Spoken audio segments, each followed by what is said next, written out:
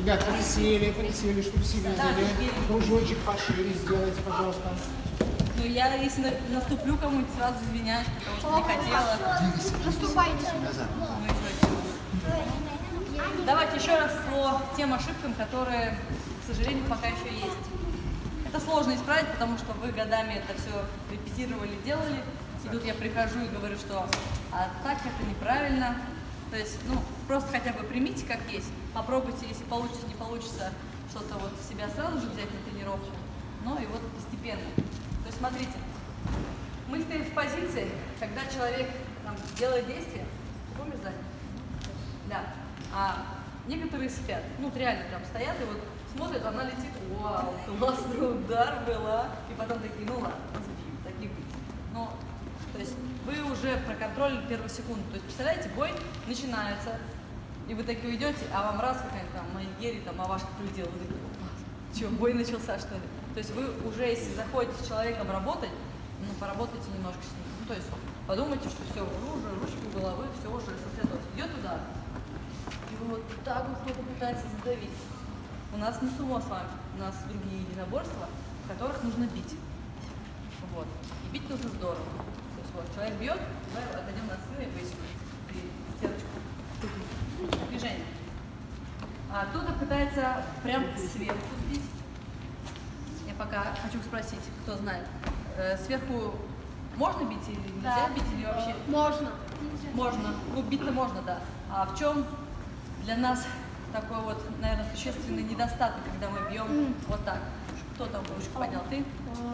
Потому что когда мы вот так ударим, мы телом задавливаемся вниз и нам могут, э, нас могут легко ударить, то есть мы открытые. Да. Во-первых, открыта печень.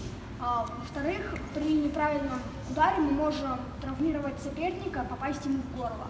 Как вариант, да. Ну, то есть сама... Да. А Когда ты бьешь э, ну, верхнюю часть груди, это можно сказать такой остановочный удар. Мгм. И когда ты его бьешь, соперник, э, ну, вы и бьете более на пробив, когда смещение. Да. А так просто останавливаетесь. Но если взять так немножко анатомически, тут у нас такие маленькие-маленькие, у кого-то чуть побольше, конечно, такие мышцы, и мы, получается, раскрываем. А человеку в этот момент ему буквально можно легкий удар сделать, и, к сожалению, вот эти маленькие мышцы так сократятся, что вы даже не сможете перетерпеть эту боль. То есть, когда вы замахиваетесь, открываете и не бережете себя. То есть тут нужно найти вот золотую середину, которую я говорю, что и не вниз сбить, и не чересчур вверх, а где-то вот с то- с того ракурса, с которого вот прям движение. То есть у каждого анатомически оно немножко там, у кого-то чуть выше, у кого-то чуть ниже.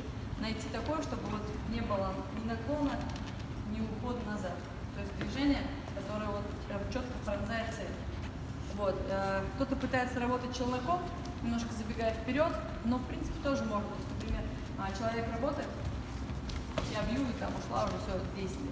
Но опять же, когда вы уходите назад, некоторые из вас расшатываются. Почему я э, базу хочу вам дать, чтобы вы поняли, что из, из этих позиций, даже просто стоя, можно как бы найти вот эти ударные техники, а потом уже добавлять челнок, а потом до- добавлять перемещение и так далее. То есть на, на это вот как фундамент мы заложили с вами определенный фундамент. И на этот кирпичик накладывать, накладывать, а потом там все остальное. Сейчас наша задача попробовать сделать два удара. Человек также нас бьет.